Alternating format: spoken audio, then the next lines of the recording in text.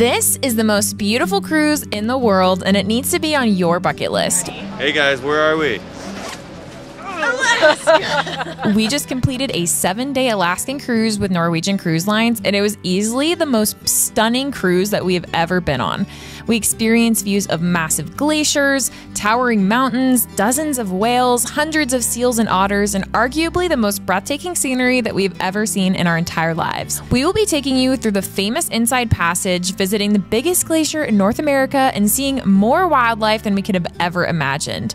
If you were thinking about booking a cruise and can't decide which one, trust us, by the end of this video, you will want to be booking this one. So with that, let's dive in. If you're new here, we're Giselle and Stephen, also known as the Lover's Passport, and we're taking you on bucket list adventures around the world every single month.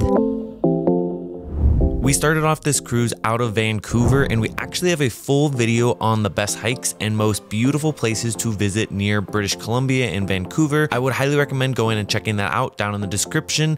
As soon as we set off sail from Vancouver, we had beautiful views of the city before going into the Inside Passage. The Inside Passage is known for its beautiful scenery and its jaw-dropping mountainous views. We just left the port in Vancouver and already we're seeing some crazy whales right off off the side. So much fun. We are on our way to Alaska and yeah, we'll see you there. You basically go through a deep fjord, you see lush rainforest all the way around you. And the great part is, is it's a protected area. So you typically do not get too seasick and the boat is very stable as you go through. But you will have super dramatic conditions the entire way through. And you can spot humpback whales, dolphins, sea lions, bald eagles. We even saw some of the famous goats on the mountain mountains as we are driving through. The forests along the shorelines are stunning, and sometimes you can even see a bear if you guys are looking. So, one thing that we would definitely recommend bringing is binoculars if you are a wildlife lover. Now, with that, let's go ahead and jump into our room tour. Welcome to our stateroom here on Norwegian Jewel. This is our second time on this ship and let's show you around. We have a balcony room.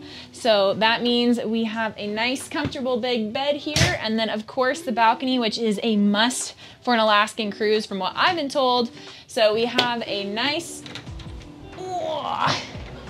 doorway out here where we can sit and enjoy the glaciers two chairs and a little table thing. And then inside we have a little futon. I believe this pulls out. And then of course our bed, our TV. We have lots of storage here. There are a handful of plugs on this one. We have two USBs and a plug over here. And then we have some more plugs over on this side of the room. But just note that there's not a big amount of room for electronic charging. Next up for the bathroom, it is your standard cruise bathroom here. We have our toilet, a sink, and then our shower, but it's honestly pretty decently sized. So when you come on in here, like I'm five foot eight, five foot nine, you have a nice amount of room here. But if you're like six foot five, it might feel a little claustrophobic. Um, but overall, it is the stereotypical cruise bathroom. So that is our stateroom. We'll see you outside. One thing I will say is that we always recommend a balcony room for your Alaskan cruise. We had stunning views during the entire cruise and it made it so even if the top deck was extremely full, we could go down to our balcony and have a nice moment all to ourselves taking in the view. One thing we always say to do when you get on the cruise ship is make your dinner reservations. A few of our favorites on the Norwegian Gem, which is what we were sailing on, is making sure you guys go and get a spot at Le Bistro, which is the famous French place and also the only place where you can get their champagne on the ship. Next, we would recommend stopping by Cagney's. This is their steakhouse and one of our personal favorites. We always make it a tradition to go to Cagney's every single time we go on an NCL cruise. All right, it's dessert at Cagney's. We've got a raspberry creme brulee, the most massive seven chocolate or seven layer chocolate cake. Oh. Got the cheesecake, and Stephen's got a port wine good stuff. The last place you do need to make reservations for is the teppanyaki restaurant inside the sushi area. This place is so much fun, especially if you are going on this cruise with a group. The last two places that we would recommend checking out are obviously the garden. That's going to be where we went every single morning for breakfast. We are now on our way to go grab some breakfast from the Garden Cafe. This is probably the go-to spot. It's the same breakfast every day. It's not that special. Hey. breakfast is happy, happy, washy, washy. And then if you guys want 24 hour food, you guys can always head over to O'Sheehan's. Oh boy, Oh, it's got we got some some food there. coming in. Look at all this. Look at all these people. Oh, look at a boy. Oh boy. We are in the famous O'Sheehan's. This spot is a must. It's the only 24 hour restaurant you can go to in the entire cruise, so time to eat. Very mid food, but it's reliable. So get the pretzel bites. Get The the, nachos wings, are good. The nachos. Couple mojitos. Be great. Look at this beautiful view. A couple of our favorite areas on the ship were the gym. We love that we could go and work out and have beautiful views of the glaciers at any time. Just finished up my workout. We are heading back to the room. Um, got a bunch of stuff planned, but the gym was awesome. Did a little loop on the outdoor uh, outdoor jogging track. Now we go take a shower. It's literally like exactly what we do at home. It's crazy. as well as it's right across from the spa. One thing that we always like to do is get the spa pass so that way we have access to the thermal spa. We have a steam room over here. There's an ice bath in here. We have the sauna.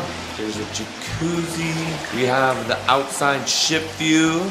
And this is what the thermal spa is like. This is where we love to spend our time. It's at the front of the ship. Such a cool spot. You can also get haircuts and facials here, and Giselle had a facial inside, which she loved. We also ended up doing a massage, and in our opinion, we have had massages from all over the world. We think that Norwegian's massages are in the top three. After our first sea day, it was time to check into our first port, which was Ketchikan.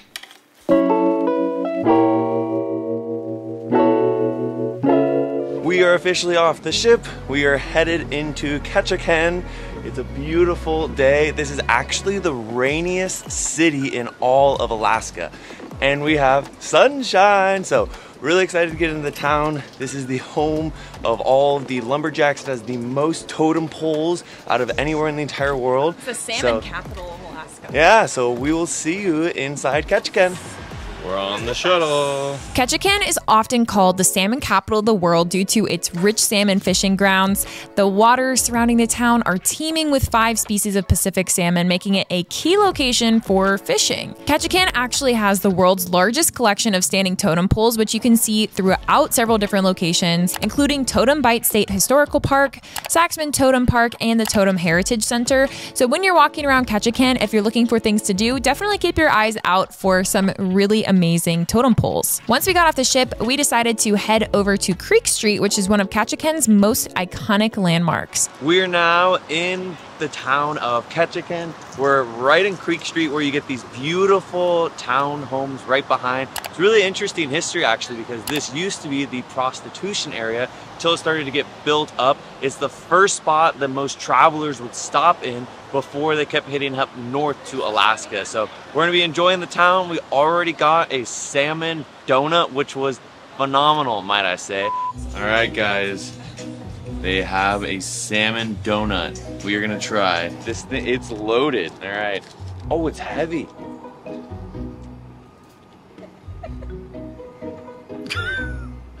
Oh, that's fire, bro. wow. Mm-hmm. Anyone else want this? Let's get a close up of that donut. Yeah, show it off. Do I have a salmon mustache? Yeah, you do. Oh, boy. And now we're just gonna be cruising through the town. Let's keep going. Ketchikan's also known as one of the rainiest cities in North America with an annual rainfall of over 150 inches, which is insane. Locals embrace the rain, but we actually got really lucky with the weather and we had a beautiful sunny day here. But typically, we would definitely recommend bringing some rain gear just in case it rains on you because it is very common here to not really see the sunshine. Now, if you're looking for the cult classic excursion on the cruise to do in Ketchikan, it's probably going to be the Alaska Lumberjack Show, which is a popular live performance where real Alaskan lumberjacks compete in events like log rolling, axe throwing, and tree climbing. And it's an entertaining way to get a taste of the region's logging history. If you're looking for a more natural experience, a little bit away from the port, you could also go check out the black bears roaming around the natural reserve. On day four, we arrived in Juneau, which is the capital city of Alaska, but it's unique in that it's only accessible by boat or plane. There are no roads roads that connect Juneau to the rest of the state or North America. It gives the city almost a frontier like feel that uh, we found very, very fascinating. One of the biggest things that we recommend doing here is visiting Mendenhall Glacier. All right, what are we doing, G? We're going canoeing to a glacier. Instead of doing the visitor center, though, which is what we recommend, we ended up doing a Mendenhall Glacier excursion, which gave us the chance to paddle up to the beautiful waterfall, as well as we came within a hundred yards of the actual glacier, stopped, walked up, was able to get extremely close and just watch the magnitude of it. It's definitely an adventurous excursion though, so I wouldn't recommend it for everyone. You do have to dress very, very warm. We just finished canoeing out to this beautiful glacier. It is absolutely incredible. Alaska already blowing our mind. But the great thing about Juneau is there's so much to do. Like I was saying, you can go to Nugget Falls right outside the Mendenhall Glacier area. It's this picturesque waterfall. And then you, there's also Tongass National Forest, which is the largest temperate rainforest in the world. It has beautiful landscapes, lots of good hiking. You can see bears, eagles, more salmon. And I would also recommend doing the Perseverance Trail. It winds through the old mining ruins and offers beautiful views of the surrounding mountains and waterfalls there. So would highly recommend getting out and making Juneau one of your more adventurous stops on your cruise, which brings us to Skagway. Good morning. Today we have arrived in Skagway and we are actually really excited. We might get to go on a helicopter tour today weather pending. This is a tender port, so we're gonna go grab some breakfast, head onto the port. We are here for a full 12 hours, so we're really excited to go and explore all that Skagway has. We'll see you in Skagway. We've made it aboard. Welcome to Skagway! And we originally had planned on doing a helicopter ride up to a glacier, but unfortunately, due to the rainy weather, that was canceled. So instead, we decided to go downtown and go explore the cute little quaint streets. So, arguably, the most popular thing you're gonna wanna do in Skagway is the White Pass and Yukon Route Railroad. It is a narrow gauge railway that was built in 1898 during the gold rush to transport prospectors over the White Pass. And today, it offers scenic train rides with incredible views of mountains mountains, glaciers, waterfalls, and tunnels. Now, make sure to book your ticket for this in advance. We tried pulling an audible and going on the train instead of our helicopter ride since it was canceled, and unfortunately, it was completely sold out. So, if you want to do this railway, make sure to book your excursion through NCL or your tickets, which will link down below in the description box if you want to book through another provider. Now, the downtown area was super cute. We decided to go in and, of course, try some Alaskan king crabs, which were delicious. There's also a lot of really good good food in this little area as well. So you could go in and try some fry bread. You can go to the chocolate shop. There's a lot of really cute stops like that. We also decided to head over to Lower Reid Falls and go do a small little waterfall hike. It's about a 30 to 40 minute walk if you're walking all the way from the cruise port to the trailhead. However, you can also hop on a shuttle or a taxi over there, which would save you a lot of time. And then it's only about a five minute walk up to the waterfall. And it was really surprisingly cool. Uh, it was a very nice waterfall, big bang for your buck, and we highly recommend checking that out. If you're looking for one last thing that you could do in Skagway, you could also do a Zodiac boat tour. This is what a lot of our friends decided to do, and they said it was so much fun and one of the best cruise excursions they've ever done. So we'll link that down below for you as well. After we finished in Skagway, we made it over to our personal favorite cruise port of the trip, which was Glacier Bay. Good morning. We have officially made it here to Glacier Bay. We are cruising through it. We have about from 6 a.m. until 3 p.m. taking the views, look at these beautiful mountains and we're going to be at the glaciers experiencing it at 9.45 and 11.45 so we're going to be taking you through the full experience. We just got up right now around 6.30 a.m we're going to go grab breakfast before hopefully the sun shines through and we have some beautiful views. This is a full day at sea cruising through Glacier Bay, which is supposedly one of the most beautiful national parks. And we're going to be able to take it all in and share it with you. So here we go.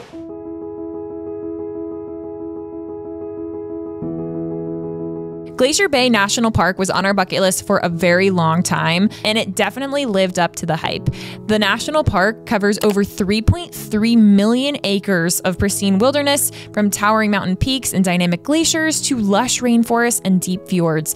And this area was a must see destination on any Alaska trip. So if you can, make sure when you're choosing your itinerary for an Alaskan cruise that you have Glacier Bay on your itinerary because it's actually not on everyone's. This is the This is the view. we need. Oh, look at that. Something fun about visiting this national park is that you'll actually have rangers on board the cruise ship where you can go and chat with them about the history of the national park. They'll come and do a talk about the wildlife and give live commentary about what you're seeing as you cruise through Glacier Bay. We got to visit John Hopkins Glacier and the Marjorie Glacier, and they were both absolutely stunning. We have made it here to Glacier Bay National Park, and this is the Marjorie Glacier. This is one of two glaciers we're going to be visiting today. It is absolutely stunning. The nice thing is they turn the ship around here. We're here for an hour, and so each side of the ship you're able to see a really great view of the glacier. You have a lot of time here to take photos and videos and capture the beauty. If you're really feeling it, you can go get some hot chocolate. There's a ton of hot chocolate stations all around the ship. We indulged in quite a few glasses, and now we're off to the next glacier. And we're gonna take in this beautiful national park. It's millions of acres large, so it's a really big park, but cruising is one of the best ways to see it.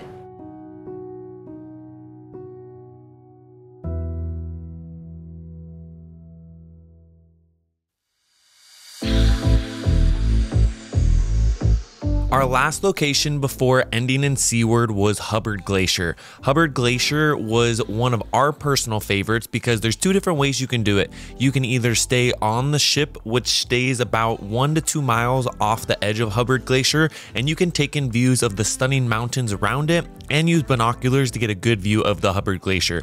But what we decided to do was actually take the excursion that brings you up and close to Hubbard Glacier, and most of the big cruise ships cannot get in that close due to the ice. We just got back from experiencing Hubbard Glacier. It's right behind us. It was such an incredible experience. It's 75 miles long, seven-ish miles wide. It's the largest tidal glacier in all of North America, and we got to see it calve a ton, which is when the ice falls into the water. Probably saw a dozen or two dozen pieces happen. Such a fun experience. There were some harbor seals, and once again, we got so lucky with the weather. Since Hubbard Glacier is the biggest tidal glacier in North America, it's very fast moving and has lots of calving happening at all times. While we were there, we probably saw it calve over a hundred times where you saw the ice directly fall into the ocean. It was incredible to watch. We had our jaws on the floor the whole time. And unlike most other glaciers in the world, Hubbard Glacier is unique in that it's still advancing.